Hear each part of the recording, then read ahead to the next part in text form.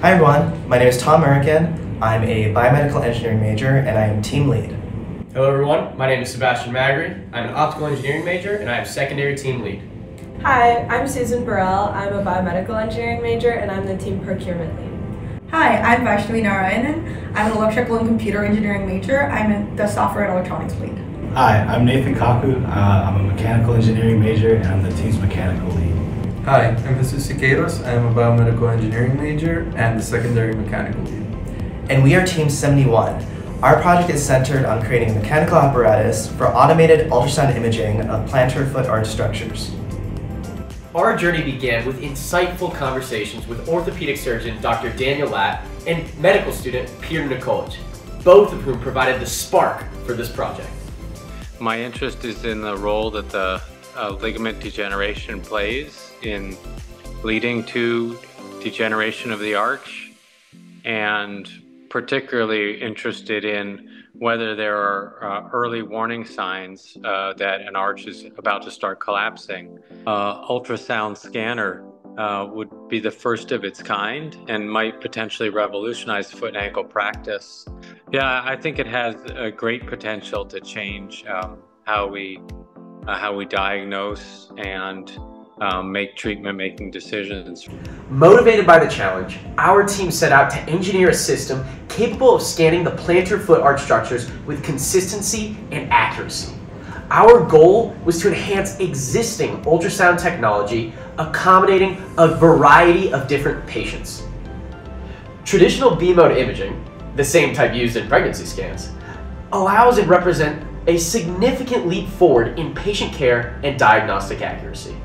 Because the system is used in a biomedical setting, there are specific and imperative requirements that must be met to ensure the system's feasibility.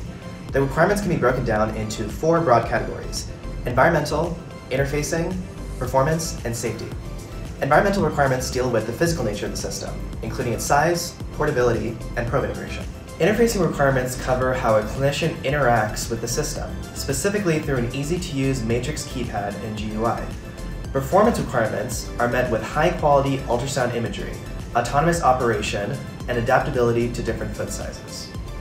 Upholding the highest safety standards, our system features CDC-compliant antimicrobial surfaces, as well as ADA-compliant design elements like step sizes and support railings, ensuring a secure and risk-free patient experience during ultrasound procedures.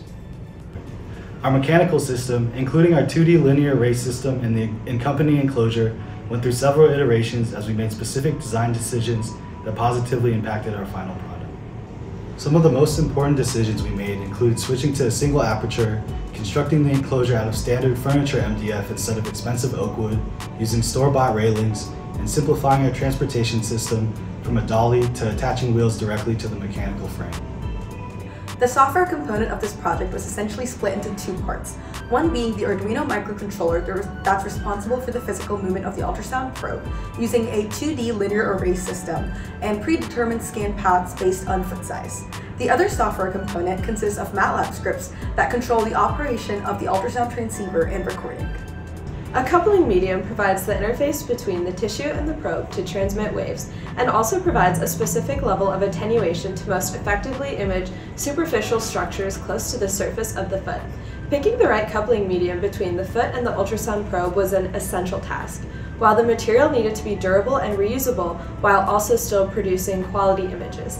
After considering and testing a variety of different mediums, we hit the jackpot with Gelatin Zero, an effective medium we decided to mold into varied arch sizes and heights depending on the foot.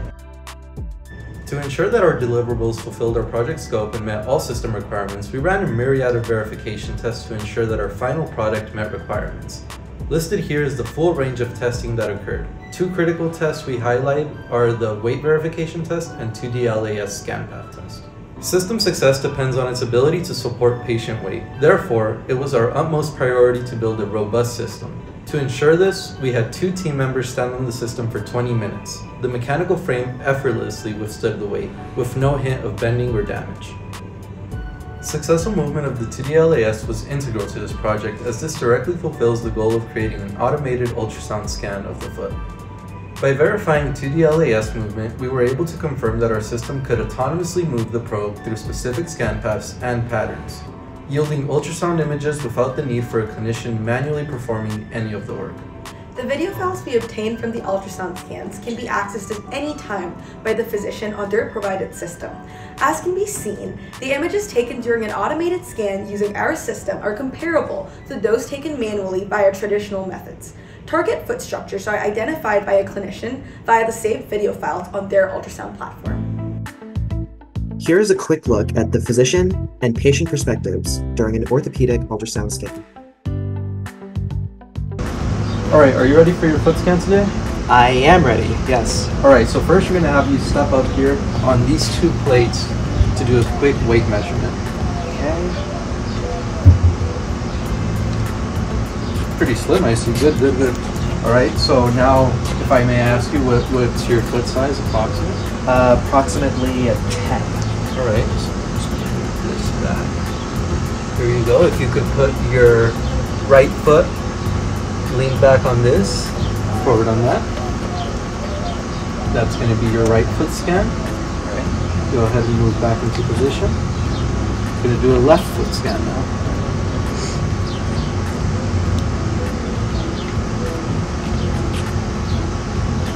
Alright, great. Okay. This is the GUI that the clinician will see during the scanning process. Once the scan is complete, the physician will be able to save a video file containing the entirety of the ultrasound scan.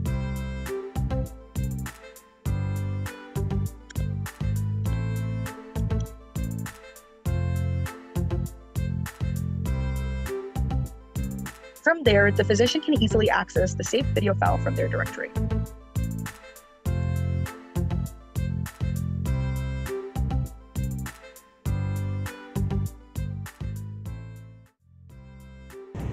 This is our project poster, which begins by outlining the background of B-mode ultrasound imaging, detailing our objectives, and explaining the methods we employ to achieve them. The star of the show is the finalized design, and this is highlighted in the middle, showing our completed deliverables.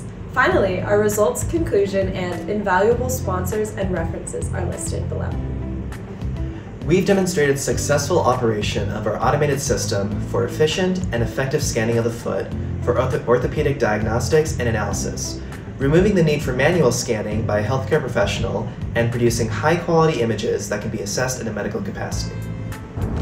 With this system, orthopedic clinics and hospitals everywhere will gain the ability for even more efficient and effective foot health diagnosis and treatment. And we are incredibly proud to have landed this project on two feet.